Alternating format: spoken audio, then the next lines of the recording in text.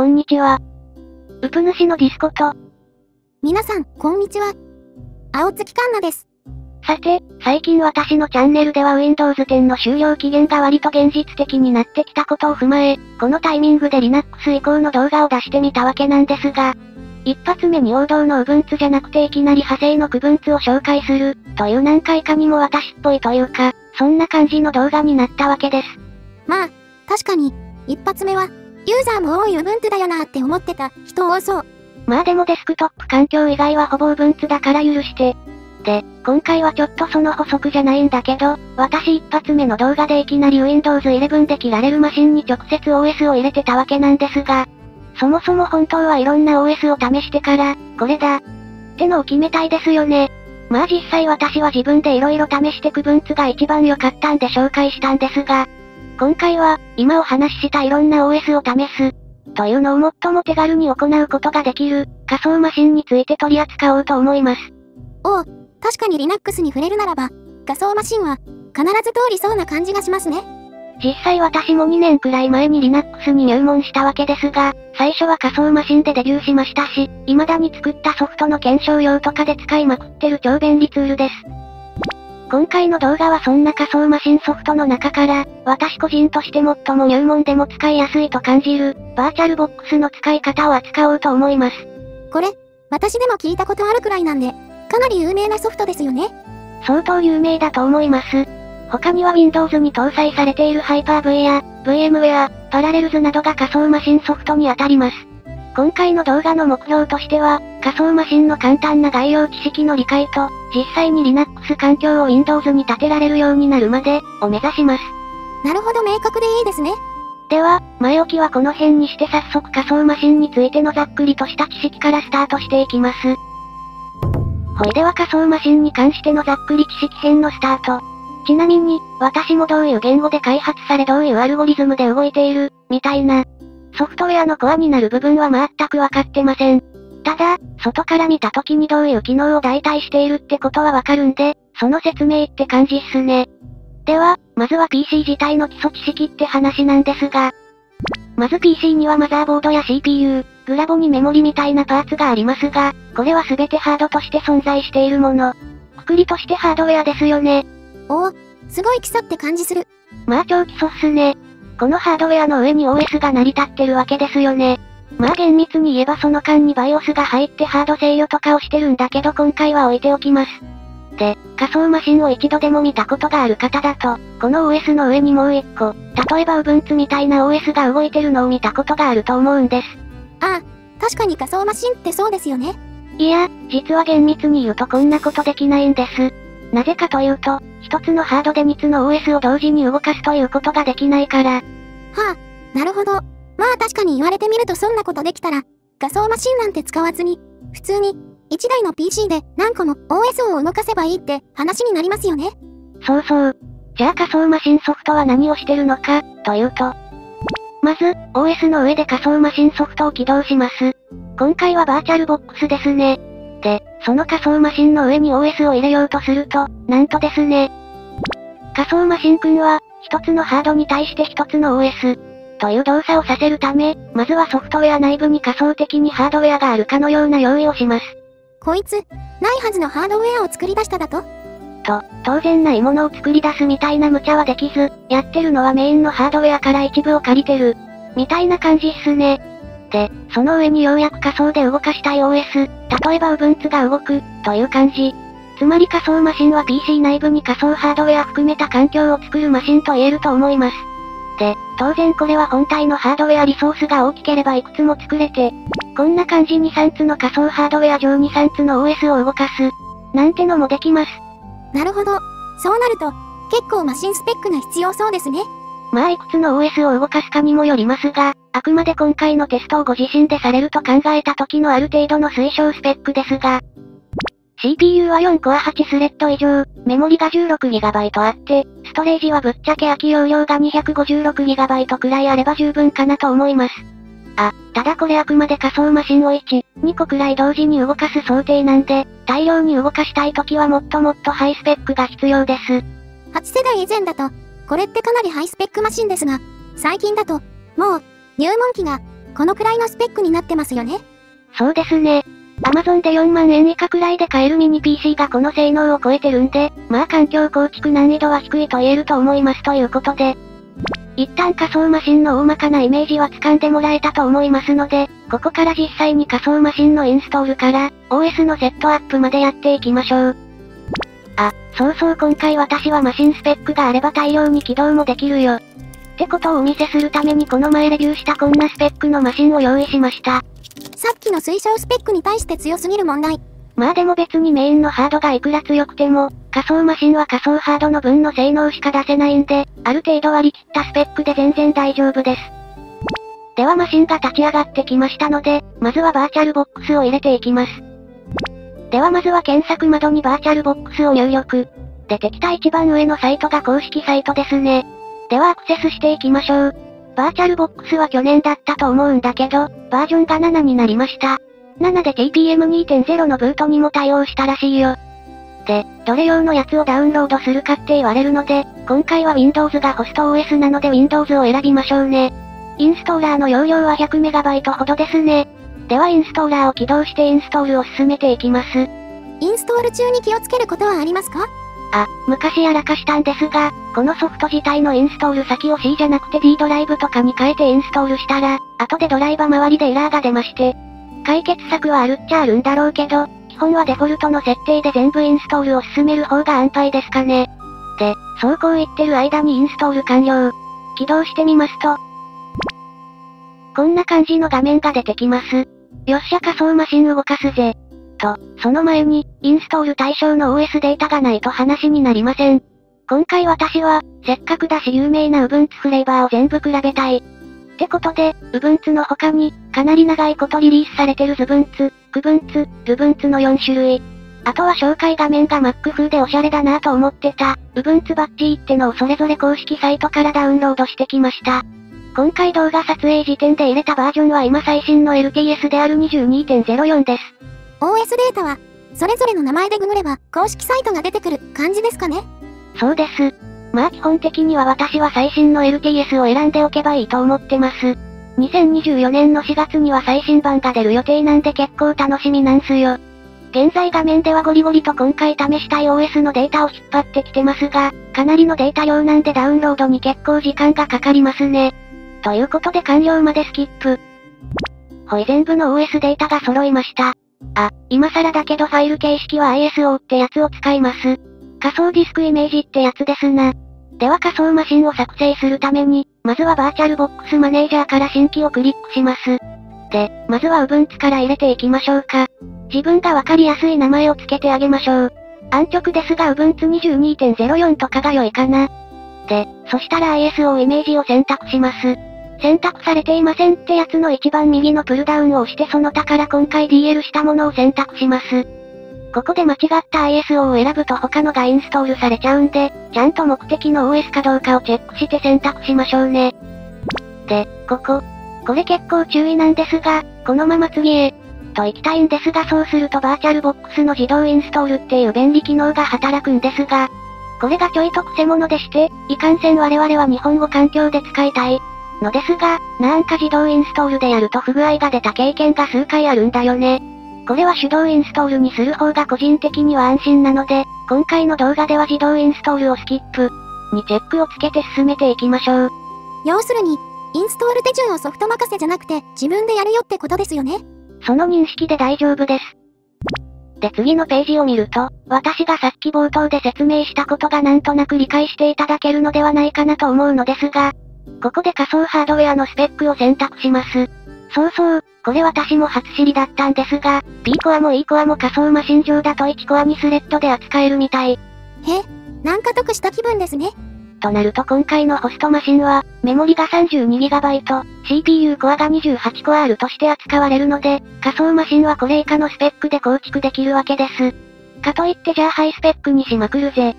ってことで、ホストマシンギリギリの 31GB メモリ、27CPU とかにしてしまうと、ホスト OS である Windows を動かすための、マシンのリソースが減りまくって、そもそも Windows が不安定ってことになりかねんので、おすすめはこの青いラインの範囲で選んであげるのが良いかと思います。まあそもそも Linux は軽いし、今回私は複数同時に立ち上げたいので、リソースとしては 4GB メモリに 4Core CPU って感じでいいかなと思います。では次。はい、次の設定項目は仮想ハードディスクです。さっきまで CPU とメモリを決めたんで、次は仮想マシンが使えるストレージ容量を決めるって感じですね。今回はホストマシンのストレージが 2TB なんで、それ以下で選べます。例えば、がっつり Linux を作業環境にしようと思うなら 128GB とかあってもいいかも。ただ、試すだけなら初期値の 25GB でも十分ですし、不安ならちょい大きくして 30GB くらいで作ってあげてもいいです。私は初期値にマージンを入れて30にしました。なるほど。CPU にメモリにストレージ。マジで、仮想的にハードウェアを作ってるって感じですね。本当にその通りですよ。では作成が完了したら、起動を押して仮想マシンを実際に起動してみましょう。あ、一応安心してほしいんだけど、マシンのリソースはストレージ以外仮想マシンを停止している間は食われないです。起動した時だけ一部を仮想マシンに持っていかれる感じ。で、仮想マシンの画面をクリックすると注意が出ますが、これは後で説明をするんでキャプチャーで大丈夫です。ではここからは仮想マシン内に Ubuntu をインストールしていきます。少し待っているとこんな感じでインストール画面が起動してきました。まずは左の選択肢の中から日本語を選択しましょう。バージョンによって違いがあるかはわからないですが大抵下の方にあります。お、全体が日本語になった。ではインストールを押して続けていきます。まず最初の画面はキーボード設定。ですが、よっぽどのことがない限りこのままでいいでしょう。次の画面ですが、とりあえず今回はいろいろ試したいってシチュエーションを想定しているのでこのままで続けるを押します。次のページはディスクを削除して Ubuntu をインストールで大丈夫です。ちょっと怖いですが、ここで削除されるのはさっき作った仮想ディスクです。OS インストール関係は1個ミスると取り返しがつかないことになったりしますが、仮想マシンなら何が起こっても、あくまで仮想マシン内部ってのがいいですね。そうそう。何が起きても仮想マシン内なので安心です。で、次は地域ですがこれもこのままで OK。今のところ特に変える設定などはなくポチポチしてるだけっすね。ユーザー情報作成は好きなユーザー名とパスワードを設定しましょう。私はディスコのディスコにしましたが、本当はこんなのダメよ。で、インストールでやること終わりっす。めちゃんこ簡単だったっしょ？おう、この前の区分 b も簡単でしたが、Linux のインストールってやってみると、Windows と対して難易度変わらないですね。むしろライセンスフリーで自由な設計になっている分、ログインしろとかもないし、ライセンス関係も全部フリーだし、Linux の方が楽までありますよ。で、この時メインのマシンを見てみると、今回4コア割り当てたと思うんですが、なんかパッと見でちょうど4つくらい使用率が高いコアがいますね。おそらくですがこの頑張ってるコアが割り当てられたコアでしょう。今インストールが進んでるし、結構忙しそうにしてますね。でさらにしばらく待ってますと。はい、インストールが終わったよってのが出てきますね。再起動しましょう。再起動時にメディアを抜いてエンターを押して、っていうのが出るんですが、これは特に気にせずエンターを押しちゃえば大丈夫です。エンターを押すと自動で仮想マシンが再起動してきまして。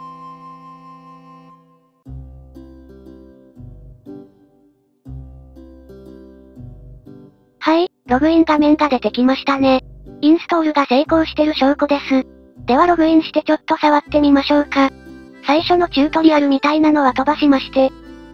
ほいもうこれで Ubuntu が使えるようになりました。部分値から見てハードウェアがどうなっているかというのを見ていきます。システムモニターから確認してみますと。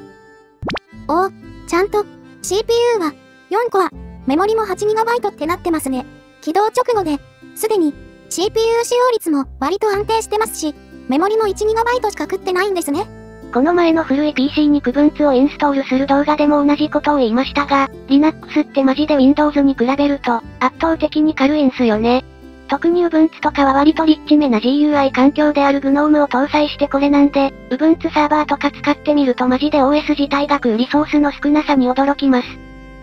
そうそう、もしインストールもできたし、割と使い込んでみるか。と思われる場合は、まず上記2つのコマンドを走らせておくといいです。上がソフトのリストを最新に更新するコマンド、下が実際にソフトを最新版に更新するコマンドです。二つ合わせてアップデートコマンドだと思っておけばいいと思います。ということで、これで今回の目標である OS インストールをして使える状態にする。という目標は達成したわけですので、次は、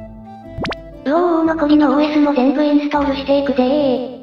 ああそうか。そういえば、今回は、いろんな Ubuntu 系 OS を全部入れてみるっていうのもテーマでしたね。そうそう。ただ、動画の尺が結構長くなっちゃってるから比較は次回かな。今回はとりあえずインストールを進めていきたいと思ってます。で、この時に見てほしいのがホスト OS、Windows 側で表示しているメモリでして、今起動している全ての仮想マシンに CPU4 コアとメモリ 4GB を割り当ててるんですが、割り当てられたメモリがぐんぐん使用状態になってるのがわかると思います。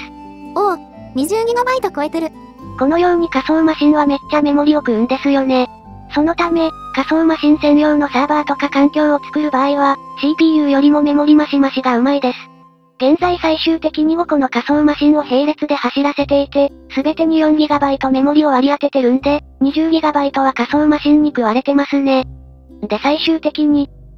もう多重起動しまくって裏の方よく見えなくなってますが、こんな感じでマシンリソースさえあれば、5個の OS 同時起動とかもできてしまいます。使いこなす方が難しそう。と思うんですが、私が知ってるサーバーガチ勢の方はスリッパ上22個とか起動して全部に役割つけてちゃんと使ったりしてるんですよねマジすげえっす。と、一応今回のメインテーマはここで終わりなんですが、ちょっとここからはおまけ。という感じで、一歩踏み込んだ仮想マシン上での設定まで紹介して終わります。Ubuntu フレーバー比較は次回動画の予定ですので、ここからは実際に仮想マシン内の Linux を細かく使いたい人向けの深掘りですので、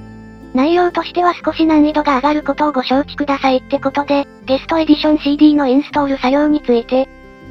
さて、ちょっと話を戻して現在 Ubuntu のインストール、アップデート完了直後です。このインストールしたままの状態ですと、画面の解像度が固定になってるんです。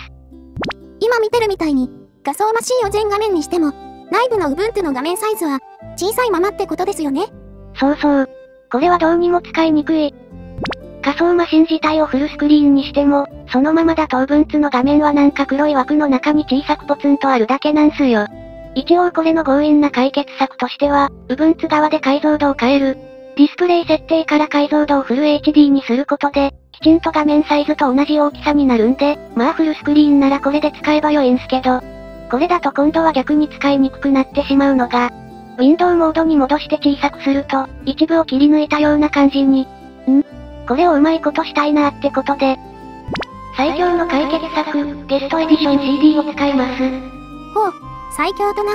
まずは上のデバイスから、一番下の方にあるゲストエディション CD を挿入。をクリックします。すると Ubuntu 上で CD が入ったと認識されます。この CD をクリックして開きまして、この空白で右クリックして、端末で開くを押します。次に端末で蒸気コマンドを実行します。これはこのフォルダの中にあるファイルを実行するコマンドです。このゲストエディション CD には仮想マシンを快適に使うためのドライバ類が入っており、それをインストールしてるってな感じっすね。ほう、なるほど。で、何ができるようになるんです？お、今画面サイズが自動で変わりましたよね。これが来たってことは多分インストールはちゃんとできてると思うんですが。じゃあちょっと試してみましょうか。仮想マシンの画面サイズを変えて。お、来てる来てる。これ、何が起こってるかというと仮想マシンのウィンドウサイズに合わせて、自動で内部の Ubuntu の解像度が切り替わってるんですよ。おお。これは、確かに仮想マシンを使うならやっておきたいですね。他にも便利機能がいくつかインストールされてるみたいなんだけど私は主にこの機能が一番ありがたいと思ってます。ってことで、今回は Windows 上でのバーチャルボックスを利用した仮想マシンの構築、そして一歩踏み込んでゲストエディション CD のインストールまでをお伝えしました。これを利用すれば、いちいちインストールメディアを USB に作って、PC にインストールして、ようやく OS を試せるぜ。っていう手間がほぼ削減できますんで、気軽に Linux を試してみたい方にぜひとも挑戦してみてほしいです。あと、肝心の Linux の使い方は書籍とかサイトとか見て勉強するのが早いですかね。実は、そっちの難易度の方が高そう。うんまあ最近の Linux って GUI も充実してるしめちゃめちゃユーザーフレンドリーなんで、多分1ヶ月も Linux を使えばほぼほぼ大体のことはわかると思いますよ。何より、環境が壊れてしまったりしても、仮想マシンならまたすぐに同じ環境を立て直せるってのも強いっすね。ってことで動画時間が長くなってしまいましたがご視聴いただきありがとうございました。次回はせっかく構築したんで、おまけ検証的な内容ではありますが、有名な Ubuntu フレーバーをそれぞれ起動してみて、実際にどういう違いがあるのか、などを見ていけたらと思っておりますのでよろしくお願いします。では今回はこの辺で、カンナちゃんよろしくね。はい。皆様ご視聴誠にありがとうございました。もしよろしければ、チャンネル登録もお願いします。ではまた、次回の動画でお会いしましょう。それでは。